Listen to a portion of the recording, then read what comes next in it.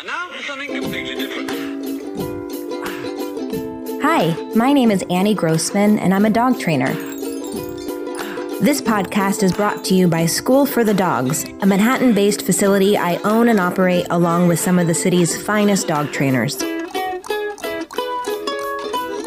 During this podcast, we'll be answering your questions, geeking out on animal behavior, discussing pet trends, and interviewing industry experts. Welcome to School for the Dogs podcast. Hey everyone, Annie here. Thank you for listening, and uh, particularly big thank you to those of you who have uh, reached out in the last few weeks. Um, we seem to be getting a bigger listenership, which is really rewarding, and I've um, I've appreciated the the nice reviews on iTunes and the messages on Instagram, etc. Um, seriously, I uh, I really appreciate it. Um, as some of you know, I had a baby recently, little Miss Magnolia, who is so wonderful, and I really love being a mom. Um, but as you may have heard, uh, parenting is hard. Actually, parenting is not so hard as much as parenting and trying to do absolutely anything else has proven difficult. I, uh, especially at podcasting, because even if I can get someone else to watch her, and I do have um, an amazing woman who comes and watches her a few hours, a few days a week, and my in laws, and my mom, and my husband. But even if I can get someone to watch her, um, which is great, I I live in like a loft basically. There's no doors, so it's hard to find a quiet spot to record. And uh, so, best case scenario, I can like find a way to record while she naps, but her naps are sort of unpredictable. And every night I think, okay, well, tonight I'm going to rep- record a podcast episode when she goes to sleep. But usually by then I'm so exhausted that I know that uh, I'm not going to be giving you my best self. So right now I managed to have her in a sling on my body, taking a bottle, although she just pushed it out so that she could suck her thumb. And I am going to attempt to answer some of the excellent questions that I've been storing up um, I've gotten so many questions that uh, uh, lately that that are so good. I want to answer them all, but I'm gonna see if I can get through two or three before um, we have a baby meltdown here. Okay, so the first one comes from Emily of uh, Cleveland, Ohio. Emily writes, Hi, I've been reading your blogs and they have been so helpful. I wish I saw them when I first got my dog. That's certainly nice to hear. She says, I see I've already done some stuff wrong, lol. You can hear some, some good magnolia grunting in the background. Okay. I adopted a rescue dog, a Yorkie, that was three years old, extremely matted and malnourished. He's been neutered, shaven, and gained weight, and acts like a total puppy. I'm assuming from being freed from under all that matted fur has given him renewed energy. A month and a week after adoption, and we're still having a few issues. He's still pooping in the house. It was like he had never been on grass before. He's weird about going out. We take him out very often, and he's aggressive and loud uh, when someone goes to leave the house. And he does not get the hint when our other dogs aren't in the mood to play, thus inevitably starting some fights. I know you don't know him and can't give specific advice, but do you think I should take him to a specialist for training, or should we just go to normal puppy school? I can use all the help I can get. Um, my dogs, I have one eight year old female who's a schnoodle, a five year old Yorkie male, and Chewy is the name of the new three year old male. Uh, and I wrote her and I asked her if any of the dogs were using the crate using crates. And she wrote the other dogs do not use crates, but Chewy slept in a crate in a cage and was put in the cage when we left for the first month. I guess she means when they went out. Um, and we have been letting him have free reign now, but we keep the cage there um, because we feed him in there to prevent fighting over food. Okay, I have three big suggestions for dealing with Chewy. First of all, um, let's talk about the crate first. I think it's good that uh, Chewy has been using a crate at least some of the time. Certainly, it's a good idea to use it to prevent any kind of fighting over food. Um, but since it sounds like he might not be the most popular dog in the household, and also he has issues with uh, issues with people coming in and out, um, I think the crate can be a really great place to do training with him and for him to feel really comfortable and safe, and perhaps also for the other dogs to feel a little bit happier dealing with him if he is um, in in a confined space. So I want you to make the crate into a really awesome spot. The fact that you're feeding him in there is a wonderful start, but you could also start kind of hanging out with him while he's in the crate. You know, I generally like uh, crates that have open, open um, bars rather than like the hard kind of plastic style crates. Um, we did an episode uh, a few months ago on the Revol crate, R E V O L uh, which we now carry um, in our studio and at school for uh, storeforthedogs.com. I really like that one because, you know, one of the nice things about it is you can open up the top panels so that you can really give treats through the top panels. Um, it also collapses nicely, but that's not so much of an issue here unless you have a very small apartment, which I'm guessing you don't if you have three dogs. Um, but you know, make the crate into an awesome, awesome spot for him and training wise, you know, you can work on clicking every time he sits in the crate and then give a treat. Um, you can work on doing hand touches in the treat. Sometimes I'll teach a dog to like do a spin in the treat by teaching them to target my fingers or something like a target stick, um, and like on each side of the crate until you get them doing a full spin. You are really making some good sounds here, baby, huh? Um, you can also work with him on his issues with people coming and going by um, every time someone comes or goes, drop really awesome stuff into the crate so that he learns, gosh, I love it when. oh, the grunts. I love it when, uh, when people leave the house or the apartment or whatever because really awesome stuff happens in my crate. Um, I love using the treat and train for this kind of thing. If you can fill it with stuff that's delicious, you know, I don't know whether that's bacon bits or Cheerios, peanuts, dry food, maybe, um, although dry food might be too boring. Um, but the treat and train, uh, which we also have at storeforthedogs.com, is a remote controlled treat dispenser that you can actually kind of remove the bottom lip on it and sit it directly on top of the crate so that treats or whatever you're putting in it falls directly into the crate.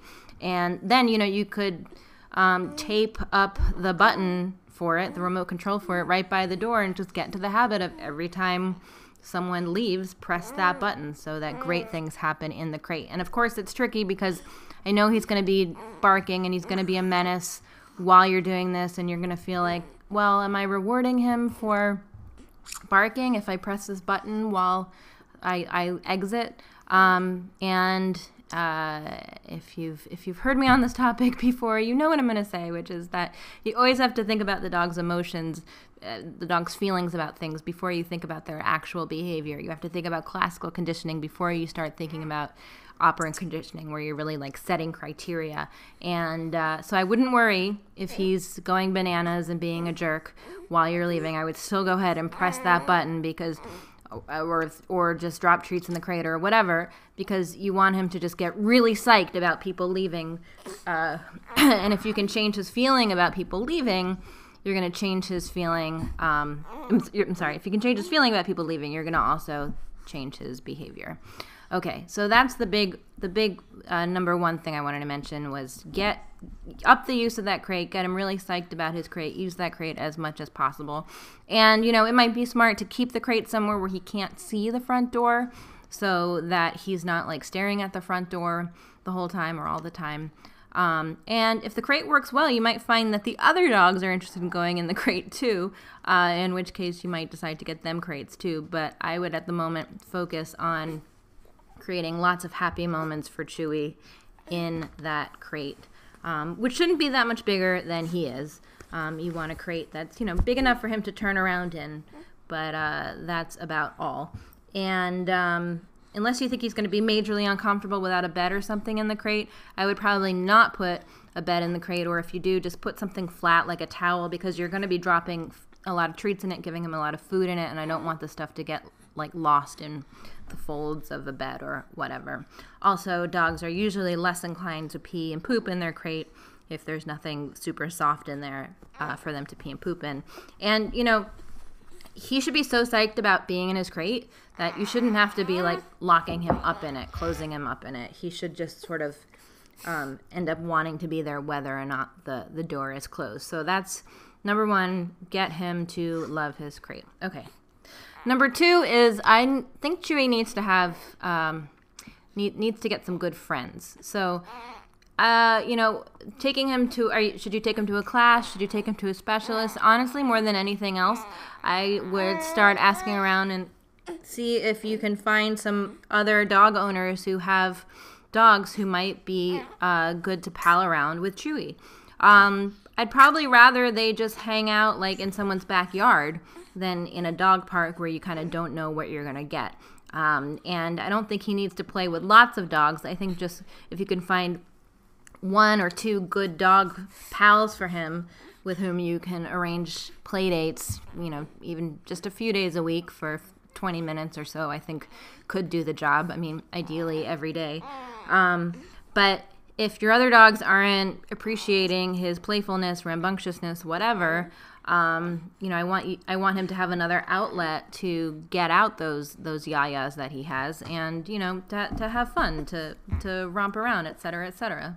I think that if you bring him to a class where he's going to be on leash with a whole bunch of other dogs who are also on leash, that could prove to be really frustrating to him. Um, and if you bring him to uh, a specialist for private training, well, you know, that's great, but um, I think more than that, he needs he just needs that that social time with other dogs. Um, and i think ideally it would be social time that's like outside in someone's lawn or some some enclosed outside space. Because you're saying you know he has some perhaps weird feelings about grass and that kind of thing. Well if he can play with another dog which is something i, I think he's going to enjoy if you can find a good match for him on grass, you know, that's a really excellent way to help him develop good associations with being outside and being on grass. You know, and playing around like that is also probably going to get his bowels moving, which might help with um, the pooping outside thing, which I understand is is a goal of yours. And uh, my last suggestion is basically click everything. you know, behavior's happening all the time, and it sounds like there are a lot of things that Chewy's doing that are, you know, things that are annoying to you, things that are annoying to the other dogs.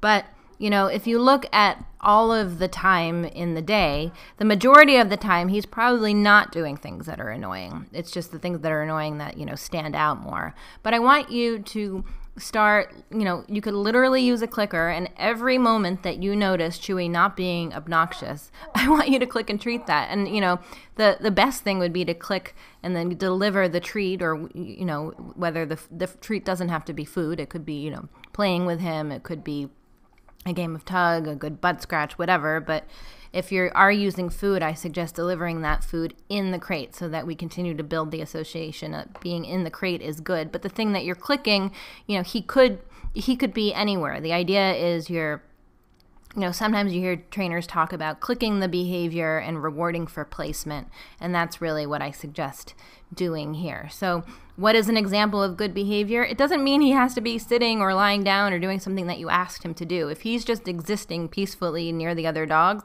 click and treat that. Um, and, uh, you know, if you haven't used the clicker with the other dogs, they're probably going to catch on pretty quickly. So you might have your hands full get having three dogs because you're probably going to end up wanting to reward all of them. But, you know, again, that might be a nice reason to acclimate each of them to a crate so that you can click and then drop a, a treat in each uh, in each crate. Again, I, I, like using the treat and train for this kind of thing, at least with one dog, um, because if you are going to click and treat every time your dog is doing anything that you like, um, it can be more convenient to just wear a uh, remote around your neck than to be, have your hands full of, you know, slimy treats that you're going to try and deliver. But, you know, uh, we, we think that dogs probably kind of think in, in pictures, right? And I think of it like by clicking everything you like, it's like you're creating a photo album for them that they can reference and be like, oh, you know, my human liked it when I was just quietly sitting by the couch, so maybe I'll go and do that again. The click is like taking a picture of a moment that they can then file away. And next time they're trying to think of, you know, what to do, well, they're going to go back to that photo album of behaviors that have been reinforced in the past. And, you know, the more behaviors that you reinforce, the less time there is going to be for him to be doing, you know, all the obnoxious stuff that's bothering you. Um, I went to Clicker Expo a few months ago, which is the big uh, semi annual, or I guess they have three of them, I think, th- triannual conference held by um, the Karen Pryor Academy. And uh, there I saw a talk by one of my training heroes, whose name is Kathy Sdao.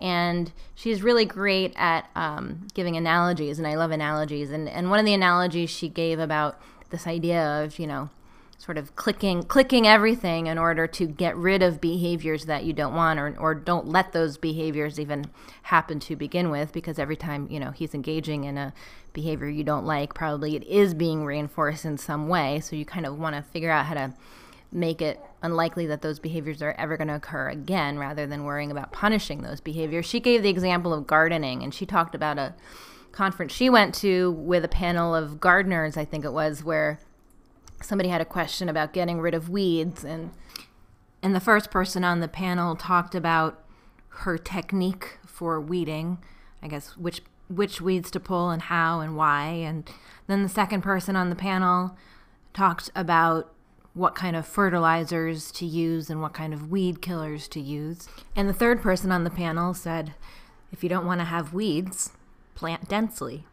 And that is really what this kind of clicker training is all about. If you are telling your dog all day, I like th- I like it when you do this. I like it when you do that. If you're doing that by clicking or kind of like taking a picture of each of those moments, you are going to have a dog who doesn't have a whole lot of time to to be producing weeds, as it were. Anyway, great question. Thank you for writing that one in. And our next question comes from a dog walker who is based in uh, Winnipeg, Manitoba, in Canada. Uh, this person is on Instagram at um, Pudgy Dog, P U D G Y D O G. And uh, they write, um, I have a dog behavior training question. I have a wired haired fox terrier client who is neutered and approximately two years old. He's a great boy, very gentle, very sociable, plays well, except he's a humper. And I'm not talking just casual, super fun, a friend type humping. he is super serious about it, as if he wants to be a hump Olympian.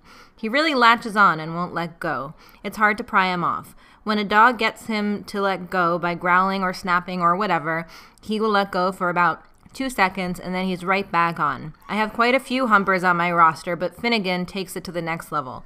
Any tips? He favors the ladies, but if there aren't any around, boys will do.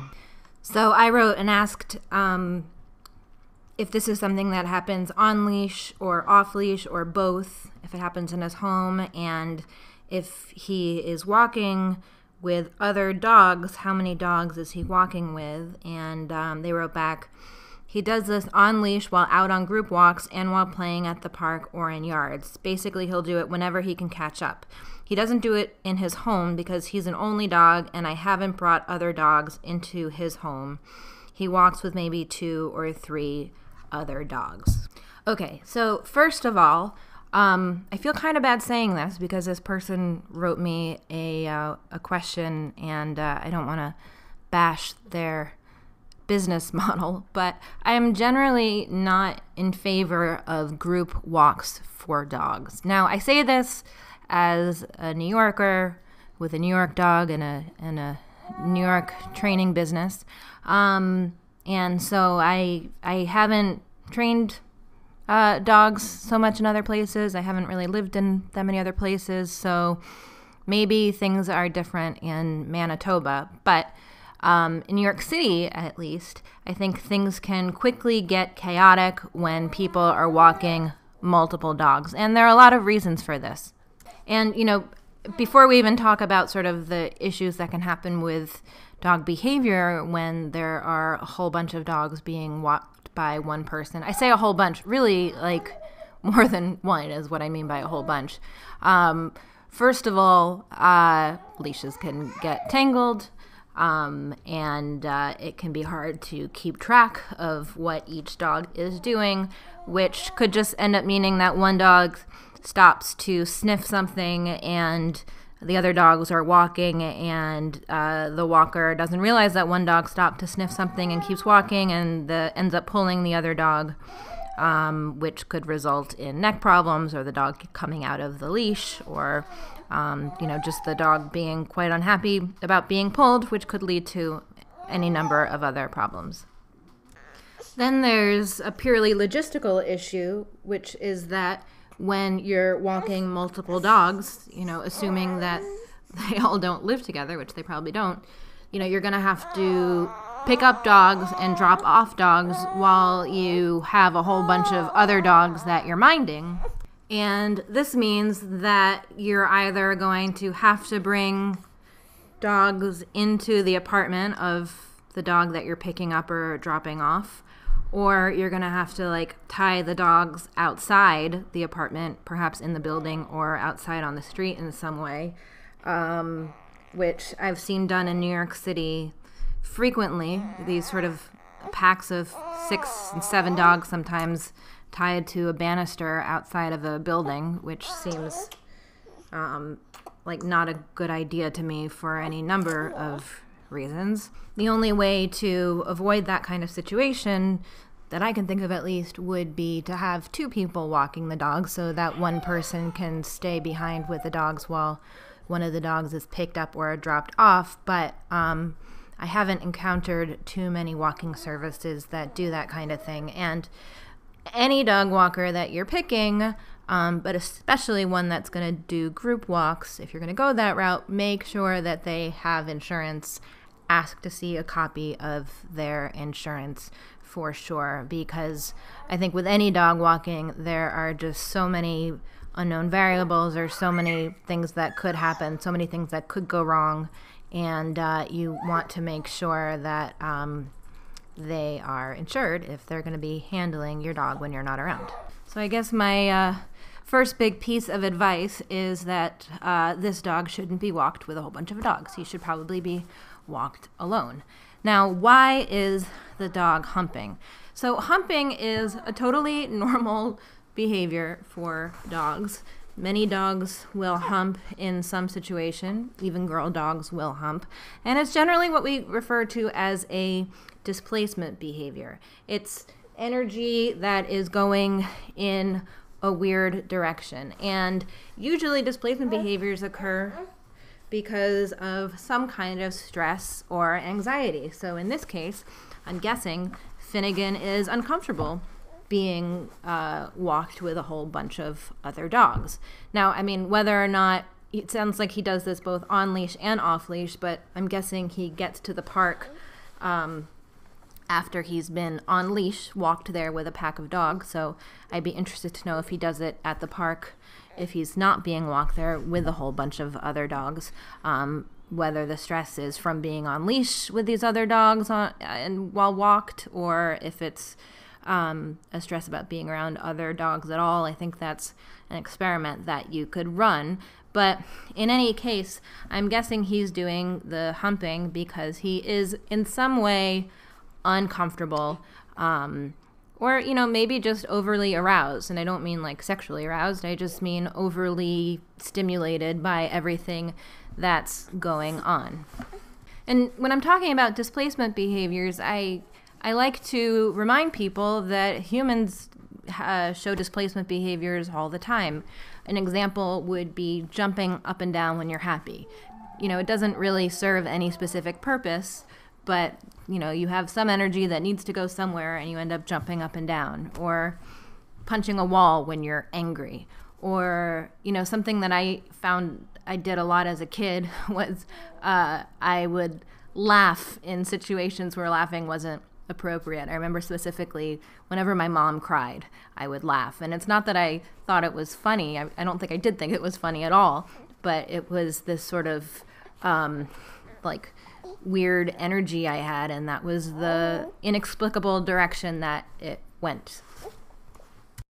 Ear scratching is another commonly seen displacement behavior where all of a sudden your dog seems like he has a super itchy ear. Uh, I was telling a client about this once, and I said, you know, sometimes like if you go, uh, if your dog goes to greet another dog and the greeting doesn't go well, that kind of thing, often you'll see them stop and uh, start scratching their ear with their hind leg, and and that's a displacement behavior. And this client said, oh, is that kind of like when I'm at a party and I check my phone even though I know my phone is dead? I was like, yes, exactly. That's that's kind of what a displacement behavior is. It's like, oh, I, I wasn't uh, trying to greet you. I was just uh, busy over here, you know, scratching my ear. And you know, sometimes as as a guardian to a dog, I think displacement behaviors can be uh, useful in that they can be giving us some information. My dog, for instance, uh, my dog will hump uh, sometimes. Usually, he'll hump my leg when we're at the dog park, and I interpret that as it's time to go you know there's probably just too many dogs or it's just too stimulating an environment for him and he's a he's a smart cookie and that he has i probably learned that it's it's uh, better to do it to my leg than to do it to another dog which is uh, an unknown unknown unknown quantity right never know how another dog will respond um, he doesn't do this so much anymore but he used to frequently do it uh, if there were two dogs playing and he was the third and i've seen this third dog humping syndrome a lot, which is, um, you know, dogs tend to play best in twos. And uh, if there is a third dog that's trying to get involved, often they will start humping. I think it's like, I don't know, I guess it's like one way that they figure they can somehow get involved. Now, some dogs might not really mind getting humped, they might not mind being the the humpy but that's still not a reason that you should encourage or let this dog hump other dogs. Um, because eh, you never know how the other dog is going to respond. And I generally think of humping uh, as a kind of um, immature social behavior. Often in puppy class, uh, puppies will hump each other a lot. And I, I always tell uh, clients, you know, it's kind of like it's kind of like a fifth grader at a dance party who just like doesn't have a lot of moves yet. They just haven't really developed their repertoire of things to do. I mean, dogs have a limited amount of things that they can do with their bodies or things they do do with their bodies. You know, they're not like gymnasts or modern dancers who have some kind of massive repertoire of things to do. Humping is something that's baked in, and you know, evolutionarily makes some sense. If if you don't know what else to do, try humping something, and perhaps uh, you will reproduce. Um, even if 99 times out of 100 you're you're humping the the laundry bag. Um, but it is a habit we want to discourage. Now, like in puppy class, I encourage dog owners just to kind of gently interrupt their dog, whether that's kind of going in and getting their attention away from the other dog with a treat or just sort of gently pushing them off the other dog. There's really no need to make a big deal out of it, and almost always, especially when this happens at dog parks, when I see dogs humping other dogs at dog parks, it's the people who are way more upset about it than the dogs because they interpret it as some kind of uh, show of inappropriate sexual behavior where it really isn't. It is a normal part, like I said, it's a normal part of the dog's, you know, repertoire of things to do in the world. And uh, chances are it's either um, a show of discomfort or it's a sort of display of social naivete where the dog just uh, hasn't learned more appropriate ways to play. So, you can just interrupt it. That said, it sounds like Finnegan isn't a puppy. He's a bit of an older dog, and I'd rather figure out ways to keep him from humping at all rather than get into how to um, stop him from humping once he starts. So, firstly, I suggest, like I said, not walking him with other dogs. Although, you know, I should I should have said before sometimes I have seen walkers walk two dogs at a time, or even three, that really get along and do well together. So if you can find, you know, a great mix for Finnegan, then then I am for that. But if you find that he's humping any other dog that he walks with, then I am against any kind of uh, pack walking for him.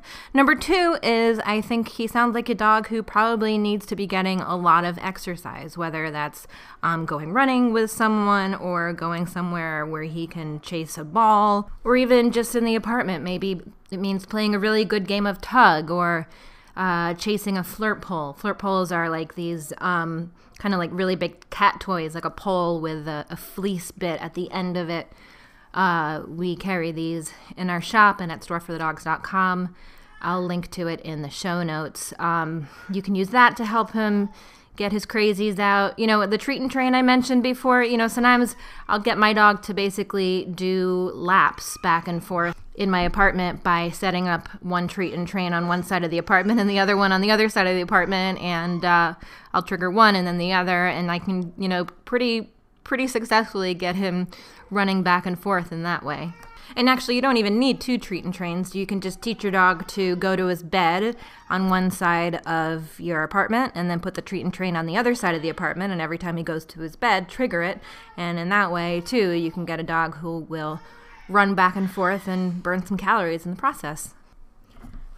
My last suggestion for Finnegan, or dealing dealing with Finnegan, I should say, is uh, to get him a good dog friend you know that might take some uh, some interviewing of candidates but I would love for him to have a single dog that he can have some really good play dates with. It's funny because actually, I guess that was my suggestion about the the dog with the other question too, uh, Chewy. Um, dogs, like I said, they do tend to play best in pairs, and uh, I'm gonna guess that he's gonna be a lot less overwhelmed if there's just one other dog to run around and play with. And um, I think that the chances that he will learn appropriate play are a lot greater if there's only one other dog um, for him to be engaging with. And that's a situation where is if, if he does start to hump, um, I would just sort of gently redirect him, just gently push him off. I'd rather have the human be in the position of uh, stopping him from doing it rather than letting another dog uh, snap at him or another dog, you know, be uncomfortable to and to, um, you know, to try and like teach him a lesson, as it were. I don't really want another dog to be in that position. So when you're choosing a playmate, I would choose one that is pretty chill about that kind of thing. Um, not because I want the dog to be humped a lot, but if it does happen, I want him to be um, a little bit tolerant so that he can deal with it at least for the second or two before you, as the supervisor, um, remind Finnegan by pushing him off that that's not an appropriate way to play. Thank you so much for these great questions. Um, I hope I was able to provide some helpful answers. Um, just a note that if you would like to keep up with what we're what we have going on at School for the Dogs, do make sure to follow us on Instagram or Facebook. We're just called School for the Dogs in both places. We also have a weekly newsletter, which you can sign up for at schoolforthedogs.com/newsletter.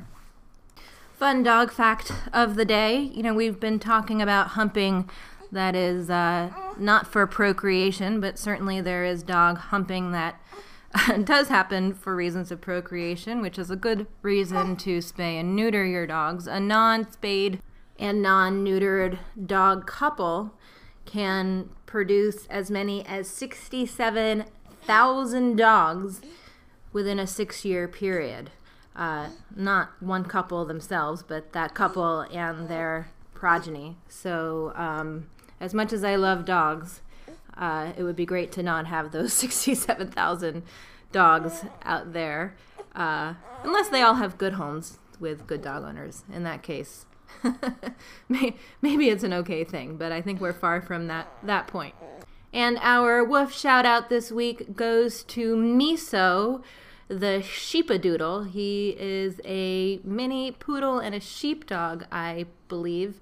Uh, he we had a last minute dropout This weekend for our Instagram stories takeover, we have a different uh, dog and occasionally cat do a takeover of our Instagram stories account every weekend. And uh, this week at the last minute, we asked if uh, Miso and his humans would do it for us, and they did such a great job. And this dog is just ridiculously adorable. Little puppy, little black and white, floppy, furry little guy.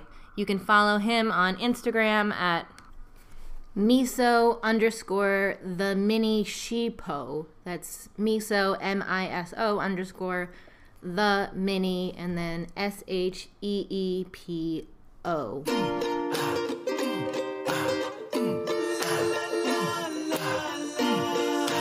Product sponsor for this episode is the Anima Swizzler and the Anima Twist. Um, I believe I've mentioned these products before on the show. I really love them. The Anima Swizzler is a bully stick holder. Uh, the Anima Twist is a Himalayan chew holder, although you can kind of hack it to also hold a bully stick. Um, they're excellent, uh, but sadly, I believe both products have been discontinued. And so the Anima Swizzlers that we have in stock at School for the Dogs are uh, the last ones that are going to be produced. So if you haven't grabbed an Anima Swizzler yet for your dog, um, I highly recommend it. Not great for like power chewers. They don't last that long if you have like, you know, a German Shepherd uh, with a super, super strong jaw, and intense chewer. But for smaller dogs, younger dogs, lighter chewers, they're great. Um, the Anima Twist, I think, actually is a better option for really heavy chewers. Um, it's a bit sturdier, but we have exactly one left. Just one. By the time you listen to this episode, it might be gone. Um, you can get it at our shop uh, on East 7th Street in Manhattan, or uh, look up Anima Twist at storeforthedogs.com. Thanks so much for listening. You can support School for the Dogs podcast by telling your friends about it, leaving a review, or shopping in our online store. You can learn more about us and sign up to get lots of free training resources when you visit us online at schoolforthedogs.com.